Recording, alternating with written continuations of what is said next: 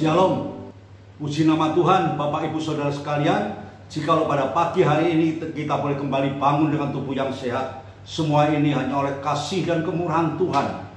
Untuk itu, mari Bapak Ibu Saudara sekalian, sebelum kita memulai semua aktivitas kita, kita mohon kemurahan Tuhan, biarlah firman Tuhan boleh menyertai, menolong, dan memimpin setiap langkah kehidupan kami sepanjang hari ini. Mari kita berdoa. Tuhan Bapa di surga, Bapa yang kami kenal dalam nama Tuhan Yesus Kristus. Sungguh Engkau Allah yang Maha Kasih, Engkau Allah yang begitu memperhatikan kehidupan kami. Pagi hari ini Tuhan, sebelum kami memulai semua aktivitas kami, mari Tuhan bimbinglah kami lewat kebenaran firman-Mu. Karena kami tahu Tuhan, hanya firman-Mu lah Tuhan, yang mampu menolong, menyertai dan membela kehidupan kami. Untuk itu mari Tuhan berfirmanlah pada kami pada pagi hari ini. Di dalam nama Tuhan Yesus kami sudah berdoa. Haleluya. Amin. Shalom.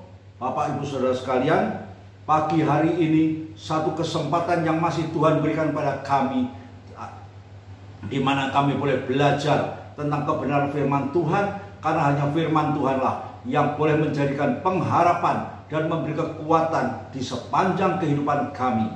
Mari kita baca di dalam 2 Korintus pasal yang kelima ayat yang ke-7 sampai dengan ayat yang ke-17 sampai dengan yang ke-21. Judul firman Tuhan pada pagi hari ini yaitu ciptaan baru. Bukankah kita ini hidup sebagai orang-orang percaya sudah menikmati satu hidup yang baru, hidup yang berubah dari hidup yang lama, sudah menjadi satu ciptaan baru. Karena firman Tuhan mengatakan, mari kita baca di dalam 2 Korintus pasal yang kelima ayat yang ke-17 sampai dengan 21. Jadi barang siapa yang ada di dalam Kristus, ia adalah ciptaan baru yang lama sudah berlalu, sesungguhnya yang baru sudah datang. Dan semuanya ini dari Allah yang dengan perantaraan Kristus telah mendamaikan kita dengan dirinya dan yang telah mempercayakan pelayanan perdamaian itu kepada kami. Sebab Allah mendamaikan dunia dengan dirinya oleh Kristus dengan tidak memperhitungkan pelanggaran mereka ia telah mempercayakan berita pendamaian itu kepada kami. Jadi kami ini adalah utusan-utusan Kristus. Seakan-akan Allah menasihati kamu dengan perantaran kami. Dalam nama Kristus kami meminta kepadamu, berilah dirimu didamaikan dengan Allah. Dia yang tidak mengenal dosa telah dibuatnya menjadi dosa karena kita supaya dalam dia kita dibenarkan oleh Allah. Amin. Puji nama Tuhan Bapak Ibu Saudara sekalian. Jikalau firman Tuhan pada pagi hari ini apa yang ditulis oleh Rasul Paulus, siapa yang ada di dalam Kristus, ia adalah ciptaan baru. Kita hidup sebagai orang percaya, kita hidup sebagai umat-umat Tuhan.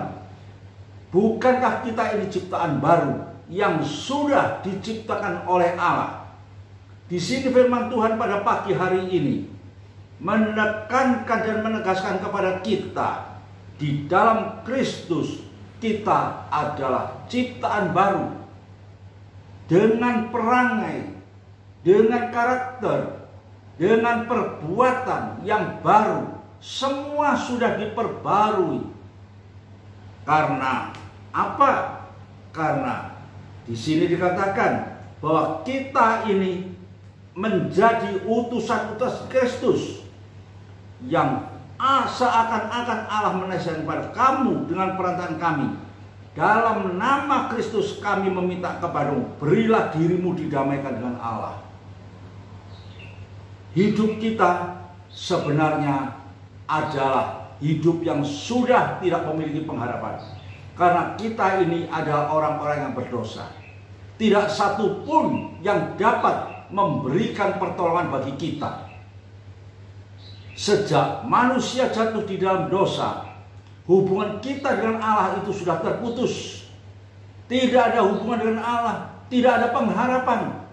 Namun karena kasih Allah yang luar biasa, Allah mengutus anaknya yang tunggal yaitu Yesus Kristus untuk menjadi korban pendamaian manusia dengan Allah.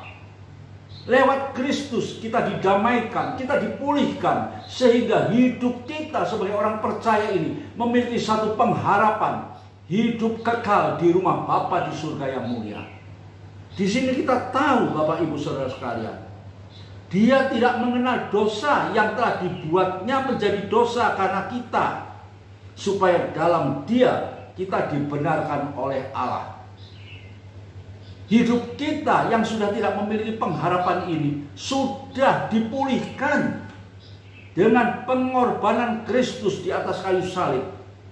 Kita sudah didamaikan dengan Allah sehingga kita hidup sebagai orang percaya, kita memiliki satu hidup yang penuh dengan pengharapan. Pengharapan apa Bapak Ibu Saudara? Hidup kekal di rumah Bapa di surga yang mulia. Bukan hanya itu saja. Di dalam kehidupan kita di dunia ada satu kekuatan yang senantiasa menyertai kita, menolong kita di sepanjang kehidupan kita, sepanjang aktivitas kita. Karena kita sungguh tak mampu berjalan sendiri. Allah begitu kasih tanpa memperhitungkan segala pelanggaran kita, tanpa memperhitungkan segala dosa-dosa kita. Allah hanya memiliki satu tujuan, harus menyelamatkan manusia. Di sini dikatakan Allah mendamaikan dunia dengan dirinya oleh Kristus dengan tidak memperhitungkan pelanggaran-pelanggaran mereka. Itulah kasih yang sempurna kasih agape, kasih yang tidak memiliki satu latar belakang apa pun, namun hanya satu, menyelamatkan hidup manusia yang penuh dengan dosa ini. Sungguh kita adalah orang-orang yang beruntung. Kita orang-orang yang sangat-sangat beruntung atas iman kita kepada Yesus Kristus pengorbanan Yesus yang luar biasa hanya untuk memberikan satu pengharapan bagi kehidupan kita. Apakah kita masih ragu-ragu? Apakah kita masih memiliki iman yang tidak pasti? Bapak, Ibu, Saudara sekalian, jikalau pada pagi hari ini firman Tuhan sudah mengingatkan kepada kita Barang siapa yang hidup di dalam Kristus, di situ sesungguhnya sudah terjadi satu ciptaan yang baru. Yang lama sudah berlalu.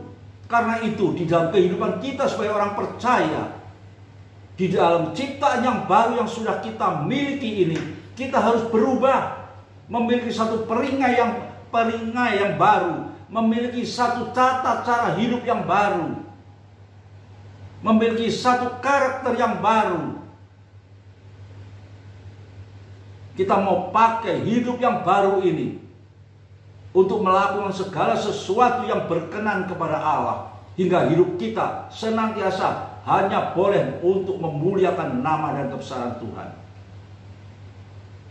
Mari selanjutnya kita baca di dalam Yeremia pasal yang ke-10 ayat yang ke-23. Aku tahu ya Tuhan bahwa manusia tidak berkuasa untuk menentukan jalannya dan orang yang berjalan tidak berkuasa untuk menetapkan langkahnya.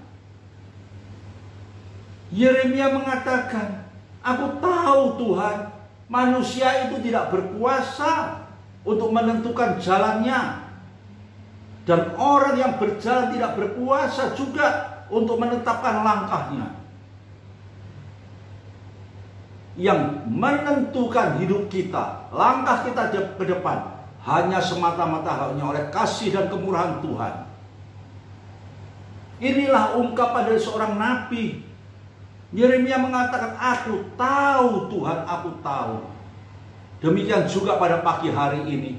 Kita hidup sebagai orang percaya, kita hidup sebagai satu ciptaan baru. Kita pun harus tahu bahwa kita manusia tidak berkuasa atas segala sesuatu bagi kehidupan kita. Hanyalah Tuhan yang menentukan, yang menetapkan segala sesuatu bagi kehidupan kita. Oleh karena itu, saya percaya dan yakin lewat kebenaran firman Tuhan pada pagi hari ini, bagi semua saudara dan saya sendiri secara pribadi, biarlah kita mau menaruh hidup kita ini sebagai ciptaan baru ini semata-mata hanya untuk kemuliaan dan kebesaran nama Tuhan. Itulah yang Tuhan inginkan. Sehingga sesuatu segala sesuatu yang sudah Tuhan berikan bagi kita dengan pengorbanan anaknya yang tunggal untuk mendamaikan kita manusia yang berdosa ini dengan Allah. Semuanya tidak akan sia-sia. Hingga kita pun pada saatnya kita akan menikmati segala sesuatu yang sudah Tuhan janjikan pada kita. Hidup di rumah Bapa di surga yang mulia hidup kekal bersama Bapa di surga. Itulah tujuan hidup ini. Mari kita berdoa. Terima kasih Bapa di surga atas kebenaran firman-Mu pada pagi hari ini. Kami tahu Tuhan Engkau begitu mengasihi kami. Engkau yang setiap pagi menyapa kami dengan tujuan agar kami memiliki satu iman yang teguh, percaya yang sungguh agar apa yang sudah Tuhan janjikan kepada kami betul-betul akan kami nikmati betul-betul akan memberikan satu perubahan di dalam kehidupan kami hingga kami boleh membawa hidup kami yang lemah yang penuh dengan kekurangan ini menjadi satu kehidupan yang kuat dan selalu kami boleh berjalan di dalam jalan kebenaranmu kami boleh membawa hidup ini selalu berkenan kepadamu Bapa. Jika kami selalu boleh belajar hidup untuk menyenangkan Tuhan. Karena engkau begitu kasih kepada kami. Terima kasih Bapa di surga. Di dalam nama Tuhan Yesus kami sudah berdoa. Haleluya. Amin.